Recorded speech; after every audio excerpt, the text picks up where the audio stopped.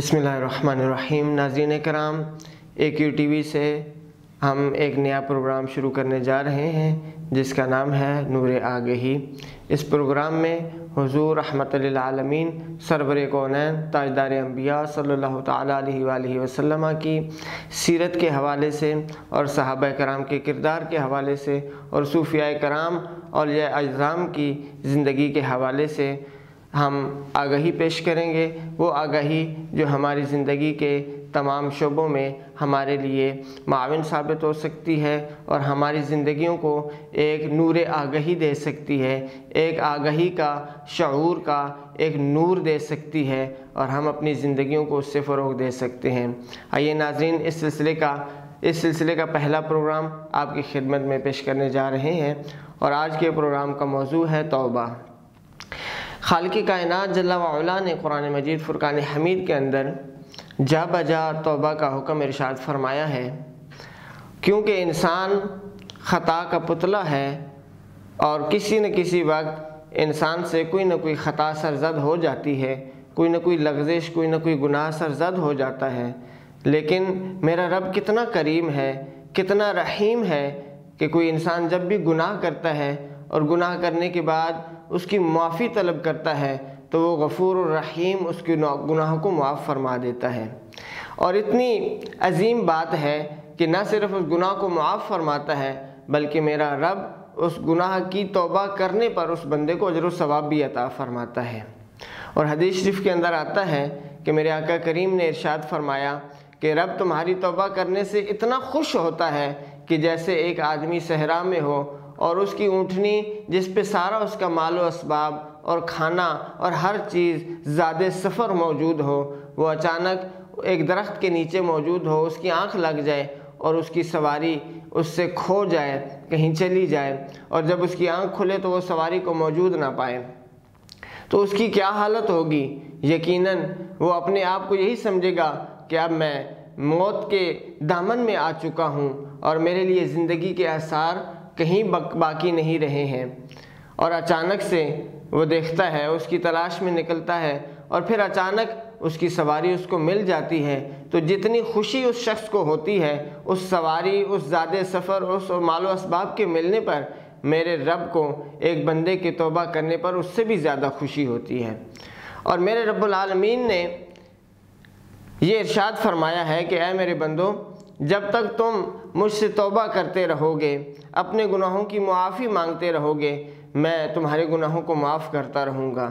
اور جب شیطان ابلیس نے رب العالمین کی بارگاہ میں یہ کہا تھا فب عزتی کا لوگ اجمعین اے میرے رب، میں تیرے تمام بندوں کو گمراہ کرنے کی کوشش کرتا رہوں گا۔ تو اس وقت میرے رب نے فرمایا تھا، بے شک تو ان کو گمراہ کرے گا، لیکن جو میرے بندے مجھ سے توبہ کریں گے، اپنے گناہوں کی معافی مانگیں گے، میں ان کو گناہوں کو معاف کرتا رہوں گا۔ ناظرین، کتنی عظیم بات ہے کہ ہم اس رب کے بندے ہیں، اس کریم کے، اس رحیم کے بندے ہیں کہ جو ایسا بادشاہ نہیں ہے کہ جو کسی گناہ پہ فوراً سزا دے دیتا ہے۔ بلکہ وہ بندے کے توبہ کرنے کا انتظار کرتا ہے۔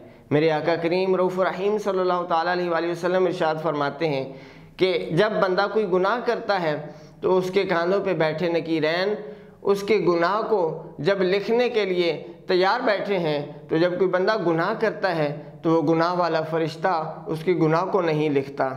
اور کچھ دیر کے لیے رک جاتا ہے۔ کیوں؟ کہ اس کو رب العالمین کی طرف سے حکم ہوتا ہے۔ کہ اے میرے فرشتے، انتظار کر، ہو سکتا ہے میرا بندہ نادم ہو جائے، میرے بندے کا ضمیر جاگ جائے، میرا بندہ طائب ہو جائے اور اپنے گناہ پہ شرمسار ہو کے وہ اس گناہ سے توبہ کر لے۔ اور جب وہ توبہ کر لے تو تم اس کی گناہ کو نہیں لکھنا۔ اور جب لکھ بھی لیا جاتا ہے، تھوڑی دیر کے بعد اگر وہ بندہ توبہ نہیں کرتا، اس کے گناہ کو لکھ لیا جاتا ہے۔ لیکن اس کے باوجود جب بندہ توبہ کرتا ہے صد کے دل کے ساتھ اپنے گناہ کی معافی مانگتا ہے، تو رب العالمین اس کے گناہ کو معاف فرما دیتا ہے۔ اور میرے آقا کریم صلی اللہ علیہ وآلہ وسلم کا ارشاد پاک ہے۔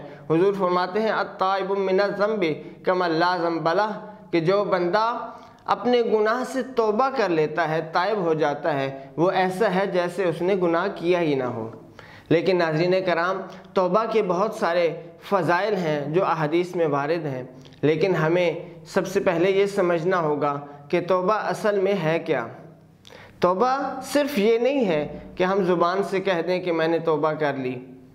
توبہ یہ نہیں ہے، بلکہ توبہ یہ ہے کہ ہم دل سے پکا عہد کریں۔ دل سے پکا مصمم ارادہ کریں کہ آئندہ یہ گناہ کبھی نہیں کریں گے۔ آئندہ یہ غلطی کبھی نہیں دہرائیں گے۔ آئندہ اس گناہ کو کبھی ریپیٹ نہیں کریں گے۔ یہ اصل میں توبہ ہے۔ اور میرا رب فرماتا ہے، یا ایوہ الذین آمنو توبو الاللہ توبتا نسوحا اے ایمان والوں جب توبہ کرو تو ایسی توبہ کرو کہ جو توبہ ہو تو پکی توبہ ہو۔ توبت النسوح ہو، جو ہمیشہ کے لیے اس گناہ کو ختم کر دے۔ جب ایک گناہ کیا اور اس کی توبہ کر لی، تو توبہ کا مطلب یہ ہے کہ آئندہ یہ گناہ کبھی سرزد نہیں ہوگا۔ ناظرین کرام، بخاری شریف کے اندر آتا ہے کہ ایک آدمی جو قاتل تھا، بہت سارے انسانی جانوں کا قاتل تھا۔ اس نے ننانوے انسانوں کو قتل کیا۔ جب ننانوے انسانوں کو قتل کر چکا، تو اچانک اس کے دل میں توبہ کی خواہش پیدا ہوئی۔ میرا رب کریم ہے، جب چاہتا ہے کسی بندے کو ہدایت دینا، تو وہ ہدایت دے دیتا ہے اور اس کے لیے ہدایت کی راستوں کو کھول دیتا ہے۔ تو رب کی طرف سے اس کے دل میں یہ خواہش پیدا ہوئی کہ میں توبہ کر لوں۔ میں نے کتنے گناہ کیے ہیں۔ میں نے کتنی انسانوں، انسانی جانوں کا قتل کیا ہے۔ جب یہ خیال آتا ہے، تو وہ توبہ کی نیت لے کے ایک اپنے مذہبی رہنما کے پاس، ایک پادری کے پاس جاتا ہے اور اس سے پوچھتا ہے کہ میں نے ننانوے انسانوں کو مارا ہے، کیا میری توبہ قبول ہو سکتی ہے؟ تو وہ پادری کہتا ہے کہ تم نے اتنے گناہ سمیٹے ہیں کہ ان گناہوں کی توبہ میرے خیال میں ممکن نہیں ہے۔ تو وہ شخص جو کہ گناہ کرنے کا عادی تھا، قتل کرنے کا عادی تھا، اس نے اس پادری کو بھی قتل کر دیا۔ سو قتل کر دیے۔ اور پھر توبہ کی خواہش اس کے دل میں ابھی تک جاگ رہی ہے، ابھی تک توبہ کرنا چاہتا ہے۔ پھر وہ شخص ایک اور بندے سے پوچھتا ہے کہ میں توبہ کرنا چاہتا ہوں تو اس کے لیے مجھے کیا کرنا ہوگا؟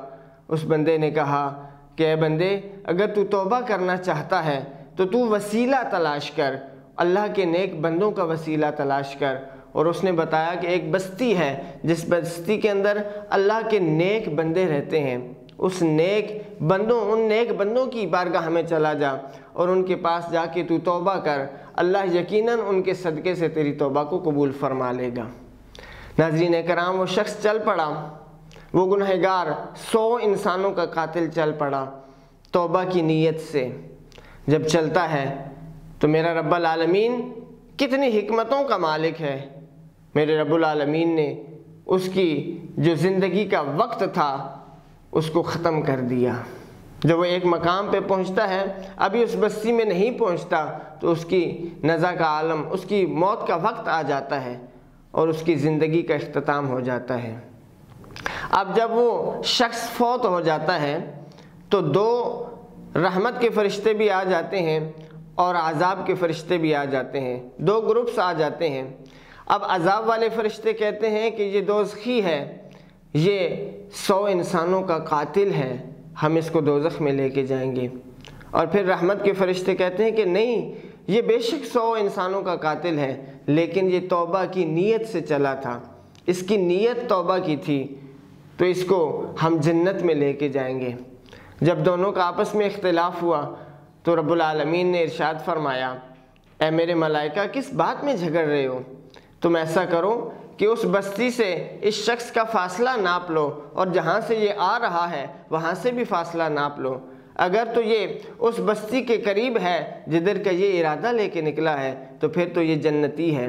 اگر اس بستی کے نزدیک ہے، پھر تو یہ جنتی ہے۔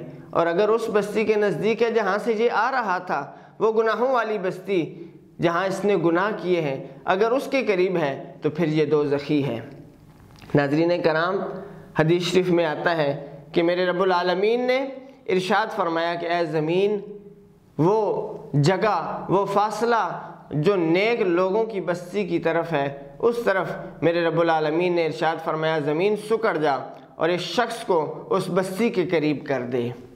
آپ اندازہ فرمائیں، صرف توبہ کی نیت لے کے چلا ہے۔ ابھی اس نے توبہ کی نہیں، صرف توبہ کی نیت کی ہے۔ توبہ کی نیت سے اس نے سفر کیا ہے۔ اپنے گناہوں پہ نادم ہے، اپنے گناہوں پہ شرمسار ہے۔ اللہ کی بارگاہ میں حاضر ہونا چاہتا ہے اور اپنے گناہوں کی معافی مانگنا چاہتا ہے۔ ابھی اس نے توبہ کی بھی نہیں، لیکن پھر بھی میرا رب اس کو کتنا اجر اور کتنا ریوارڈ عطا کر رہا ہے۔ میرے رب العالمین نے اس زمین کو سکڑنے کا حکم دے دیا اور وہ فاصلہ کم ہو گیا۔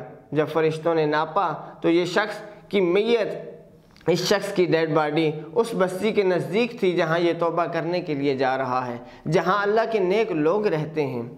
جب فرشتوں نے ناپا تو اس کو جنت کے فرشتے جنت میں لے جاتے ہیں۔